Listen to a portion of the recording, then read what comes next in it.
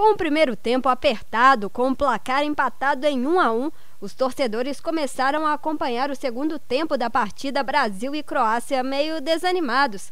Nada de euforia, olhos atentos a cada passe de bola. O primeiro tempo foi muito difícil, mas tem penso que vai ter sorte no segundo. Vamos ver se no segundo melhora, né? Ah, por enquanto o primeiro tempo foi difícil, foi um jogo mais aguerrido, apertado.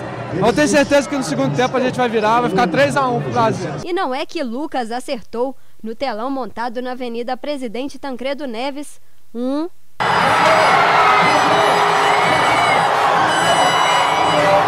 Dois.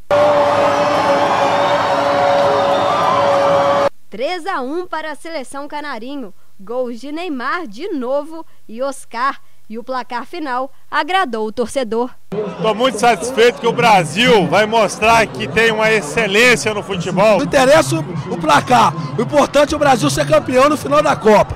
Brasileiro não existe nunca, Brasil sempre.